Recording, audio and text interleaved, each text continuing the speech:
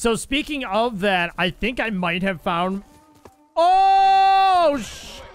Hey, guys! That's a way to make an entrance right there.